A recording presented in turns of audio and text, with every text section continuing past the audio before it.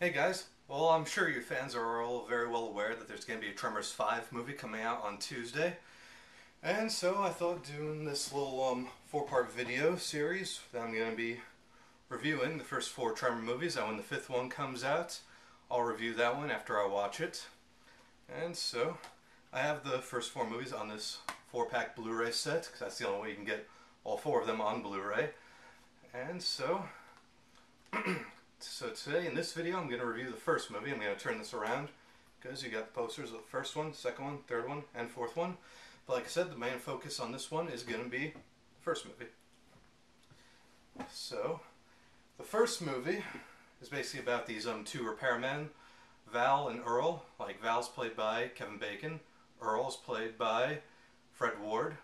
And so like you know they're just basically um, tired of like you know the same old stuff, just repairing stuff like in this um, town that they live in out in a desert called Perfection. And so they just want to like, you know, do something different. So they um, decide to one day leave the um, town. And so the day when they leave, this, some strange stuff starts happening. They discover some like dead bodies. So they're thinking that there's probably a um, maniac loose in the um, in the town. But they're in for a big surprise because like one day they actually figure out what's actually been killing the people.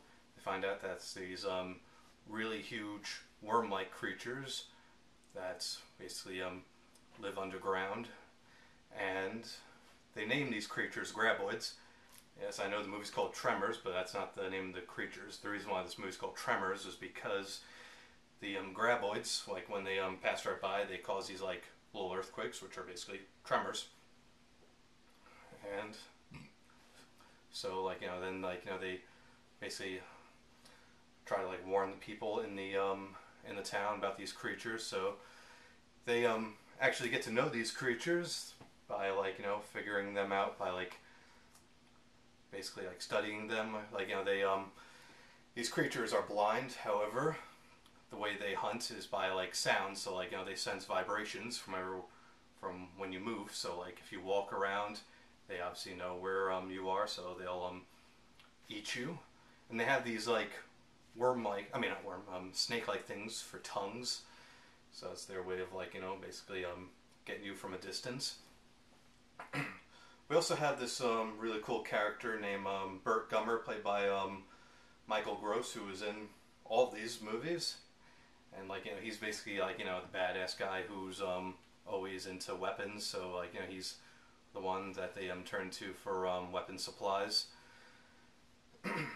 so, and that's basically like you know it for this story. I mean, like, I also, I just um really like the visual effects, the practical effects for the um the graboids. Like you know, it's all done with like you know puppets, animatronics.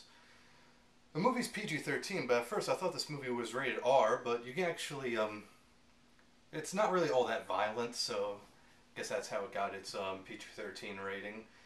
But I kind of feel like since these um, things are called graboids and not tremors, then the movie should be really called graboids and not tremors. And another thing about these um, the um, graboids is that they get smarter as the movie goes on. So like whenever like these characters are trying to kill them, like they try to kill them the same way. However, they um, don't fall for the same trick twice. Like they um, like there's one scene where they um, use a um, dynamite on one, so one of them dies. Then they try to use dynamite on the other one. Then that one um, basically spits out the dynamite. Not falling for it twice. Like it's got some pretty good acting as well from the um, from all the actors. So I give them that too. So so yeah, like you know, Tremors is a pretty good movie. Pretty good um, movie from the early '90s. So I um, definitely liked the first movie. Pretty much, I believe the first movie is my favorite one in the series. And, and I think that's all I gotta say. So if you've never seen Tremors, I recommend it. And that's really it. Okay, so that's it for this one. Stay tuned for my review on Tremors 2. See you guys later.